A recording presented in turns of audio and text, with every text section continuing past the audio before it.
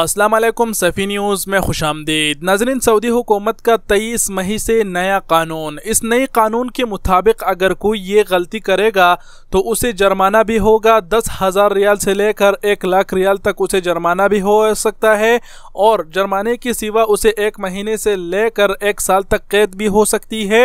اور اگر غلطی کرنے والا مجرم غیر ملکی ہوگا تو جرمانہ اور سزا کھاٹنے کے بعد اسے ملک سے نکال دیا جائے گا اور اسے آئندہ کے لیے بلیک لسٹ کر دیا جائے گا۔ آئندہ وہ کام کے سلسلے میں پھر سعودی عرب نہیں آ سکے گا، اسے بلیک لسٹ کر دیا جائے گا۔ مزید تفصیلات میں جانے سے پہلے آپ سے ایک چھوٹی سی یاد دہانی کرائے کہ اگر آپ نے ابھی تک صفی نیوز کو سبسکرائب نہیں کیا تو سبسکرائب کر لیجیے اور ہو سکے تو اس ویڈیو کو اپنے اور غیر ملکی بائیوں کے ساتھ ضرور شیئر کرے کیونکہ یہ سعودی حکومت کا نیا قانون ہے اور ہر ایک کو اس کے بارے میں جاننا ضروری ہے۔ اب آپ لوگوں کو بتا دیتے ہیں کہ یہ کون سی غلطی ہے، کون سا نیا قانون ہے جو سعودی حکومت نے اتنا سخت بنایا ہے۔ تو آپ کو بتاتے چلے کہ وزارت داخلہ نے اس کی تفصیلات اپنے ٹویٹر اکاؤنٹ پر شیئر کیا ہے اور کہا ہے کہ وہ افراد جنہوں نے کرفیو پاس جاری نہیں کیا ہے اور وہ کرفیو میں باہر نکلتے ہیں اور وہ افراد جنہوں نے کرفیو پاس جاری کرایا ہوا ہے اور ان لوگوں کو ہیلپ کرتا ہے باہر نکلنے میں، چاہے وہ اپنے گاڑی میں لے جانا ہو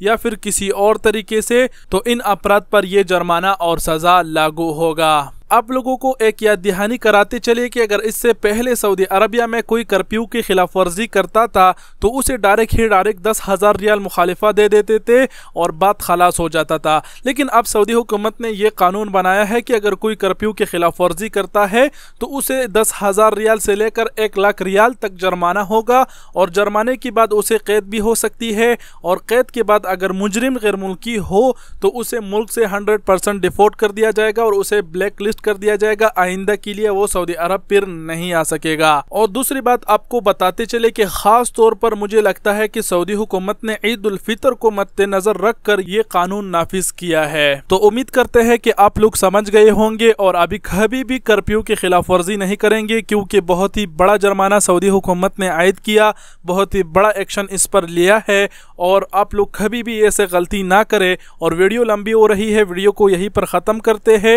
اور اگر کوئی بات آپ کو صحیح سے سمجھ نہیں آئی تو کمنٹ کریں، ہم آپ کو سمجھانے کی کوشش ضرور کریں گے اور ویڈیو دیکھنے کا بہت بہت شکریہ۔ اپنا بہت سارا خیال رکھیے گا۔ اللہ حافظ۔